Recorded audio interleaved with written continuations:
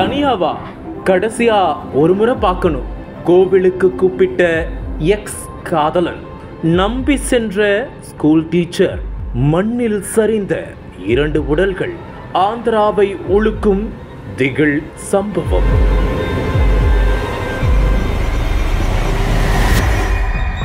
ஆந்திர மாநிலம் ஏலூரைச் சேர்ந்த இளம்பெண் ஜாகுலர் ரத்னா கிரேஸ். இவருக்கு இருபத்தி இரண்டு வயதாகிறது. தனியார் கல்லூரி ஒன்றில் ரத்னா கிரேஸ் பணியாற்றி வருகிறார். அவருடன் பள்ளியில் துவங்கி கல்லூரி வரை ஒன்றாக படித்த வாலிபன் இயேசு ரத்தினம் இவருக்கு இருபத்தி மூன்று வயதாகிறது. இரண்டு பேரும் நண்பர்களாக இருந்த நிலையில் இருவருக்குள்ளும் காதல் மலர்ந்துள்ளது. இவர்கள் காதலித்து வந்த நிலையில் அந்த காதலை விரும்பாத ரத்னா கிரேஸ் பெற்றோர் தங்களுடைய மகளுக்கு வேறு ஒரு வாலிபருடன் திருமணம் செய்ய முடிவு செய்து நிச்சயதார்த்தம் செய்திருந்தனர்.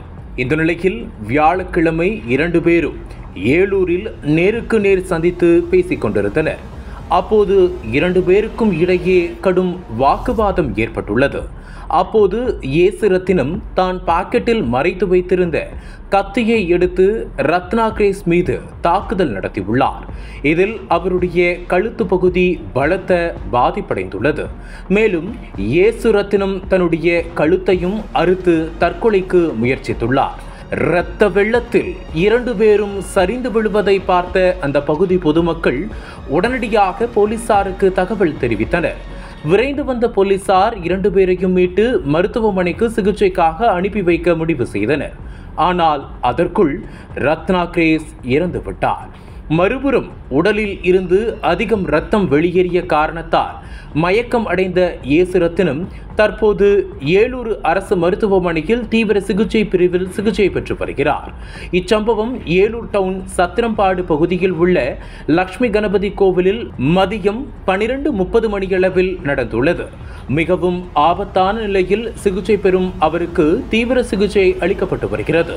இயேசு ரத்தினம் மீது கொலை வழக்கு பதிவு செய்துள்ள போலீசார் விசாரணை மேற்கொண்டுள்ளனர். இயேசு ரத்தினம் தற்போது போலீசாரின் கண்காணிப்பு வளையத்தில் சிகிச்சை பெறுவது குறிப்பிடத்தக்கது. இதுகுறித்து போலீசார் ஒருவர் கூறுகையில் இருவரும் பள்ளி காலத்தில் இருந்து நண்பர்கள். கல்லூரியிலும் இவர்களது நட்பு தொடர்ந்துள்ளது. இதனால் இருவரும் காதலித்து வந்துள்ளனர். ஆனால் ஒரு கட்டத்தில் இயேசு ரத்தினம் வேலை வெட்டிக்கு செல்லாமல் பொழுதை கழிப்பதை காதலி ரத்னா விரும்பவில்லை. இருவருக்குள்ளும் அடிக்கடி வாக்குவாதம் வந்துள்ளது. ஒரு கட்டத்தில் இந்த காதல் வேண்டாம் எனும் முடிவுக்கு வந்துள்ளார் கிரேஸ். இதனையடுத்து கிரேஸுக்கும் மாப்பிள்ளை பார்த்து திருமணம் நிச்சயமாகியுள்ளது. இதை தெரிந்து கொண்ட இயேசு ரத்தினம் கிரேஸ் வேலை பார்க்கும் பள்ளிக்கு வியாழக்கிழமை சென்ற இயேசு ரத்தினம் அங்குள்ள லக்ஷ்மி கணபதி கோவிலுக்கு அழைத்து பேசியுள்ளார். அப்போது நீ தான் எனக்கு முக்கியம். நீ இல்லைன்னா என்னால் வாழ்க்கையை கற்பனை கூட பண்ணி பார்க்க முடியல. என புலம்பி தீர்த்துள்ளார். மேலும் நான் கையில் பொருள் வச்சுருக்கேன். எங்கேயும் என் கழுத்தை அறுத்துட்டு என் கதையை முடிச்சுக்குவேன்.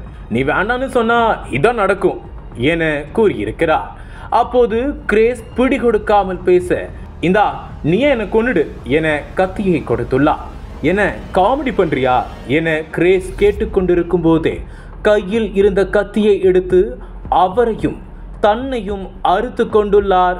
இயேசு ரத்தினம் என்கிறார்.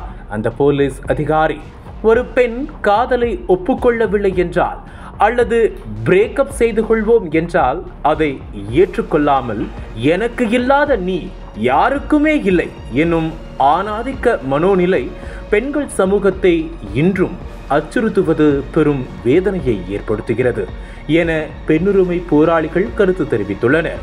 தமிழகத்தின் அரசியல் புலனாய்வு வரலாறு நக்கீரன் பப்ளிகேஷன்ஸ். இந்த கோடை விடுமுறையை புத்தகங்களுடன் கொண்டாடுங்கள். உலக புத்தக தினம் மற்றும் கோடை காலத்தை முன்னிட்டு ஏப்ரல் இருபத்தி மூன்று முதல் மே முப்பது வரை நக்கீரன் வெளியீடுகளான அனைத்து நூல்களுக்கும் இருபத்தி ஐந்து சதவிகிதம் சிறப்பு தள்ளுபடி புத்தகங்களால் கோடையை கொண்டாடுவோம். அனல் பறக்கும் செய்திகளை அப்டேட் செய்து கொள்ள நக்கீரன் களத்தை இப்பவே சப்ஸ்கிரைப் பண்ணுங்க.